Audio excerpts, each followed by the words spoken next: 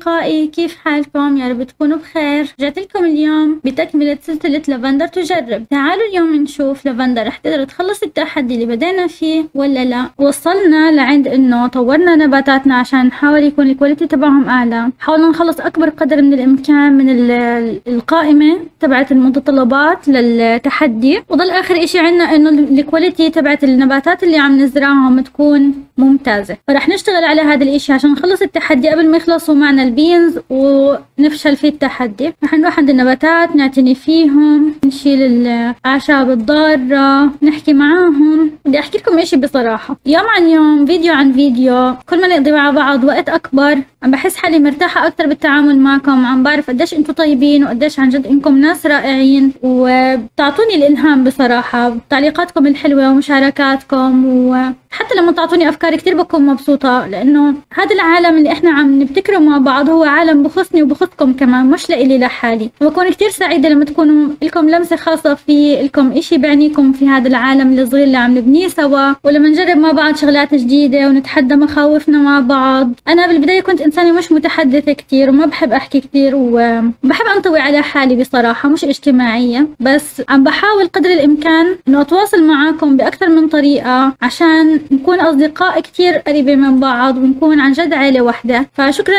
لكم لوجودكم في هذا العالم الصغير وجودكم كتير بخليه حلو. طيب لافندر عمالها بتحاول تحكي مع نباتاتها تتسلى معاهم تعتني فيهم. تجربة لافندر إنها تكون هي نبتة علمتني إنه حتى الكائنات اللي حوالينا اللي ما بتحكي وما عندها رأي بهاي الحياة للأسف طبعا آه لازم تكون حتى علاقتنا فيهم حلوة. حتى لو ما بيحكوا ما بيعبروا هم لهم لغة خاصة فيهم. ممكن إحنا لما نتواصل معاهم نقدر نكتشف لغتهم ويكونوا كتير قريبين منا مثل النباتات مثل الحيوانات مثل كتير شغلات حوالينا إحنا ناسين إنها موجودة أصلا. فكرة إنه الإنسان يتواصل مع النبات ويعيش تقريبا بنفس إحساس النبات ويشوف شو احتياجاتهم ويعرف أهميتهم وليش هم موجودين حوالينا. كتير إشي حلو. مرة من المرات أنا زرعت وردة مع تيتا وما طلعت بس ما فقدت الأمل. ضلينا كل سنة نعتني فيها ونسقيها ونحاول نشوفها وهي عم تكبر ولسه ما طلعت الوردة. آخر سنة جامعة إلي قريب من يوم تخرجي زي كأنها الوردة كانت عم بتكافئنا لأنه اعتنينا فيها. فجأة طلعت وطلعت كتير ورود وكانوا كتير ألوانهم حلوين كتير انبسطت فيهم. عن جد حسيتها أحلى هدية إجتني عشان تخرجي بصراحة. فكمان هاي الشغلة اللي جربناها مع لافندر ذكرتني بهاي القصة. لافندر كتير مبسوطة حوالين نباتاتها عم بتزيد طاقتها نفسيتها عم تتحسن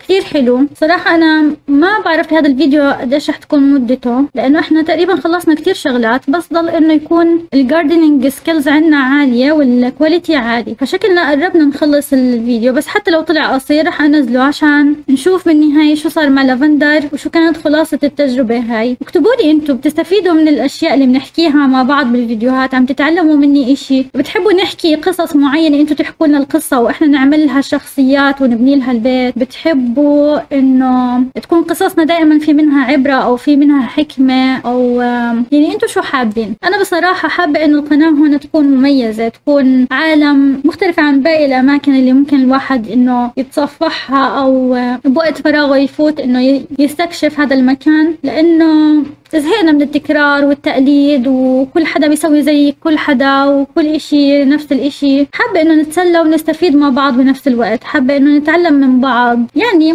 بشكل عام نعتني ببعض أكثر نعبر عن حالنا بمساحة تكون مريحة للإنسان. ما فيها كره ما فيها حقد ما فيها زعل ما فيها ولا إشي سلبي. بس نكون مبسوطين مع بعض عشان بدنا ننبسط. يعني مكان نهرب فيه من العالم الخارجي عشان نكون مرتاحين. Okay لافندر جوعانة للأسف. ممكن نأخذ من الطاقة تبعت النبات إذا بدكم تسألوني شو سبب تسمية لافندر لافندر لأني أنا كتير بحب نبات اللافندر. يمكن أنا قبل هيك حكيت لكم هاي المعلومة. بس عندي هوس اسمه لافندر. بحب شكله كتير هيك بين الخضار وكيف إنه هو صغير وناعم. بس بالرغم صغر حجمه ونعومته بيعطي تأثير حلو بالحياة هيك ريحته حلوة وألوانه مريحة وصفاته بتعجبني. طيب نجرب نعطيهم سماد نعطيهم سماد للنباتات. بركي إنه ال quality تبعتهم ارتفعت بسرعة وقدرنا إنه نجتاز هاي المرحلة ونخلص التحدي. عشان لافندر كتير حابة تجرب معكم شغلات جديدة غير هذا التحدي بس كانت عم تستنى إنه نخلص هذا التحدي عشان نبدأ بإشي جديد مع بعض نستكشف شغلات جديدة مع بعض. يمكن التحدي الجاي يكون إنها تكون مهندسة ديكور نشوف كيف ممكن الناس يتقبلوها كمهندسة ديكور. لافندر مبسوطة الحمد لله أمورها تمام. عم تعتني في نباتاتها.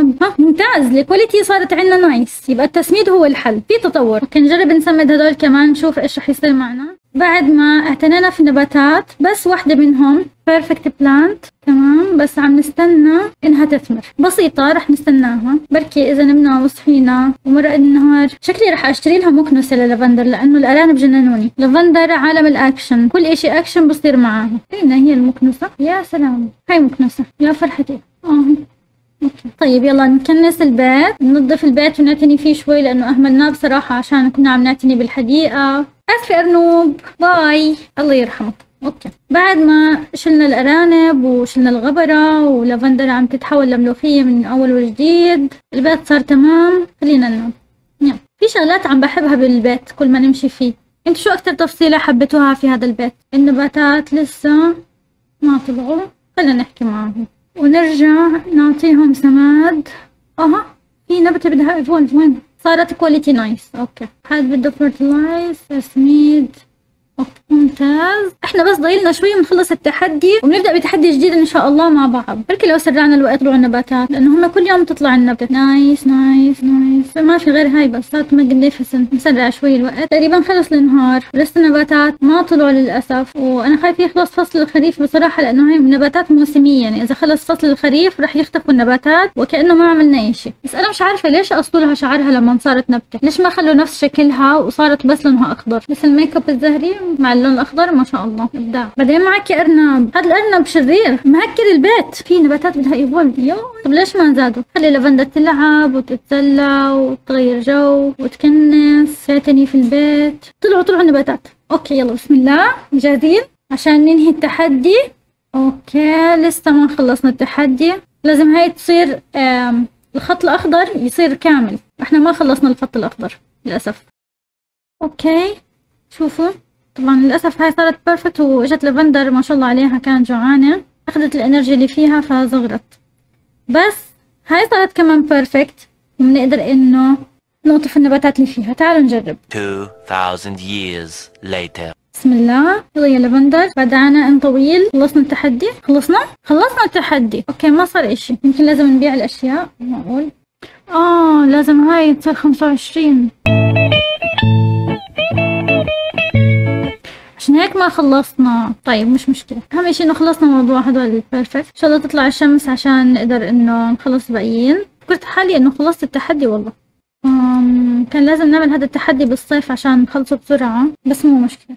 بعد مئة ألف سنة بعد مئة تنكيسة لازم نخلص من موضوع الشمس. ضايل أربعة أيام قبل ما يطلع الشمس يعني يوم الجمعة. بدنا نحاول إنه نسرع الوقت ونخلص هذا التحدي عشان نبدأ في تحدي جديد. طبعا لافندر عم بتعاني من عدم وجود الشمس فلازم إنه للأسف ناخذ الطاقة من النباتات. قربت أخلص أغلبهم بس ضايل لي شوي من ال plant care وكم من واحدة بس عشان الشمس غدي لافندر وبنخلص التحدي. صاروا 98 99 خلصناهم. ضل بس آخر إشي البناء الضوئي. أخلي لافندر تضلها نايمة بصراحة. عشان قبل ما يجوا يمرقوا الاربع أيام هدول ويجي اليوم المنتظر اللي هو فيه الشمس سامحينا يا لافندر هاي الفترة حتعيشي على طاقة النباتات مش على البناء الضوئي. قبل ما إنها تيجي الشمس وتصير الحياة حلوة ونخلص هذا التحدي.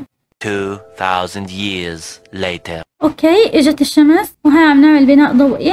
يلا يا لافندر خلصنا التحدي. خلص السيناريو معانا. بس لافندر لسه ما رجعت انسان رح أخلي السيناريو شوي ماشي. عبال ما ترجع لافندر انسان نشوف رح تأخذ وقت طويل. عبال ما ترجع انسان ولا رح تكون بسرعة. طيب خليها تنام. بركي بعد ما يخلص هذا النهار وما رضيت تنام. okay. خلصنا ال skill كمان تبعت ال gardening ممتاز.